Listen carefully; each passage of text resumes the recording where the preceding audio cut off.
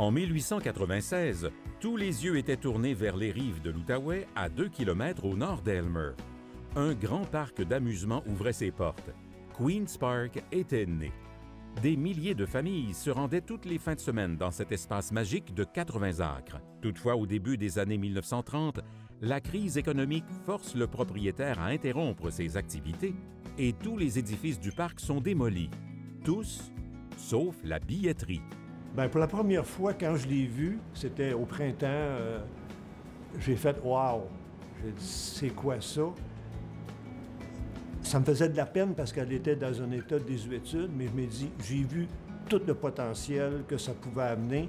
C'est un, produit du, patrimoine immobilier de Gatineau à ce moment-là. C'est ça que j'ai dit, il ne faut pas que ça se perde. Lorsque Khalil Zouari, un résident d'Elmer, accepte de faire don au musée de l'Auberge Sims de cette structure d'une richesse patrimoniale inégalée, Gilles Laroche est bien résolu à lui donner une seconde vie. Bien, sur le coup, euh, j'ai demandé mes autres collègues bénévoles du musée, j'ai dit, on fait quoi avec ça? Depuis qu'il a vu des photos de la billetterie en 2005, un de ses plus grands rêves est de sauvegarder et de restaurer un édifice patrimonial de Gatineau. Le destin a décidé de l'aider à réaliser ce rêve. C'est un parc d'attractions, dans le même genre que Coney Island à New York, dans le même genre que le parc Belmont à Montréal. Il y avait un restaurant, il y avait des manèges, il y avait la plage, il y avait aussi euh, un bateau, il y avait un, kiosque de fanfare, studio de photographe, une glissoire genre la pitoune, ils appelaient ça shoot de chute. Puis euh, la billetterie qui était au quai d'embarquement pour le bateau à vapeur, le GB Green. Les, les gens achetaient leurs billets là et prenaient le bateau pour faire une petite croisière de plaisance. Aujourd'hui, le pavillon de l'ancienne billetterie de Queen's Park trône fièrement sur les terrains de l'auberge Sims. Les visiteurs peuvent en apprécier la valeur patrimoniale qui rappelle qu'Elmer a jadis été un pôle d'attraction touristique incontestable et continue de l'être.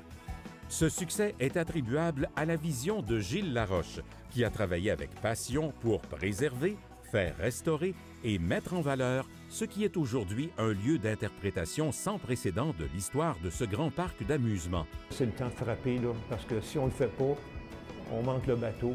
Puis euh, les gens du musée, euh, le, conseil d'administration, ils ont embarqué à 100% avec, moi. ils m'ont peut-être peut passé un peu comme excité, mais je le suis, c'est mon tempérament. Je suis un passionné dans ce que je fais, je suis un passionné du patrimoine, de l'histoire et du musée de l'Auberge-Sim. Le musée de l'Auberge-Sim, c'est comme ma deuxième demeure.